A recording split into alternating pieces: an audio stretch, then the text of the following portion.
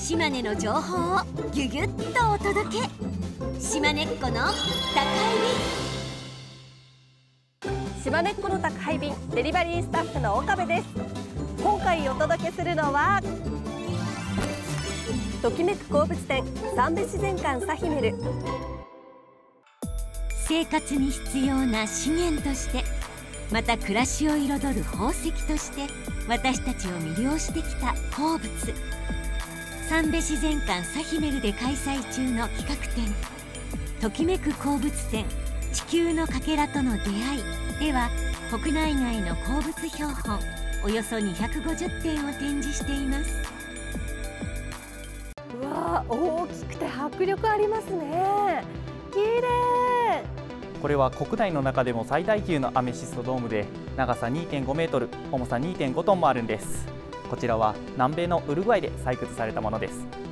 どうしてこんな鉱物ができるのか不思議ですね。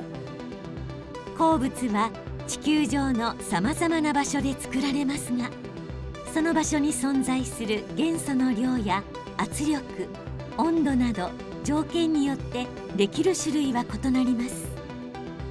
中には特徴的で面白い性質を持っているものもあります道石って日本の石なんですか？いい石に気がつきましたね。実はこの石北海道で見つかった新種の鉱物で2023年に登録されたばかりなんです。すごい発見ですね。この鉱物には面白い性質があります。ほら。え光った。えどうして？鉱物の中には紫外線を当てるとこのように光を放つものがあるんです。北海道石は石油生成の謎を解く鍵になるのではと研究者の間で話題になっています。鉱物って知れば知るほど壮大な話になってきますね。ではもう少し身近に感じられる鉱物も紹介しますね。島根県で最も歴史の古いと言われる増田市の津鉱山で見つかった津鉱という鉱物です現在までに155種の新種の鉱物が日本から見つかっています。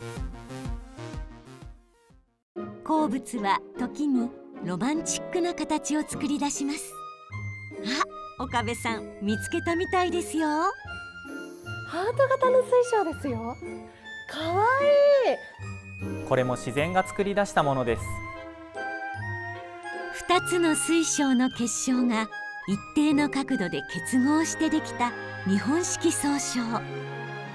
明治時代頃から日本でたくさん見つかっていたことが名前の由来。その形から俗にハート水晶や夫婦水晶とも呼ばれています。鉱物にはたくさんの魅力や不思議が詰まっています。